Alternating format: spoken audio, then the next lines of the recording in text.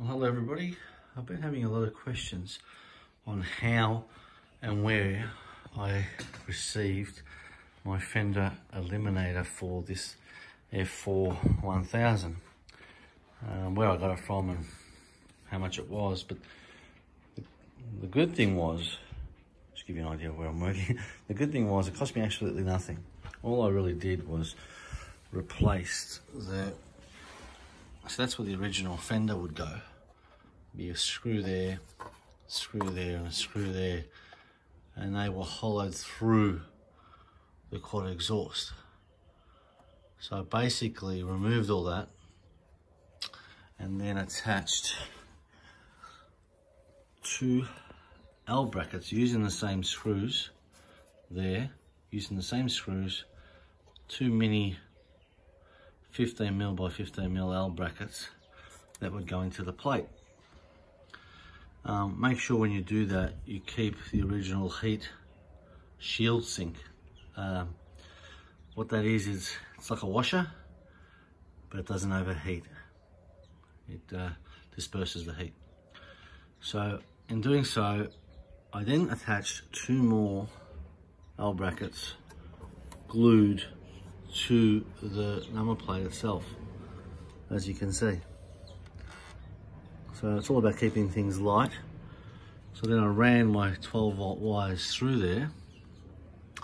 Um, I, attached some heat shield that basically went around the pipes because this cavity here gets gets quite hot.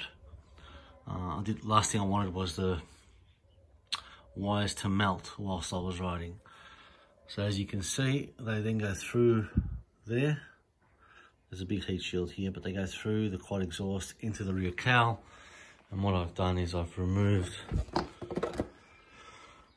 the rear cowl, take that out. A little few extra emergency tools. And then basically that's it there. So you cut the wires running to the old um, halogen indicators and you replace them with the current LED indicators. You solder those, you put those back in and away you go.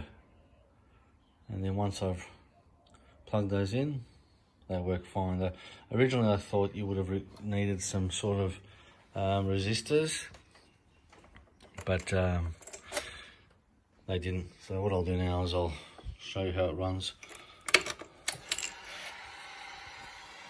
I'll just put the, emergency lights on so you get an idea.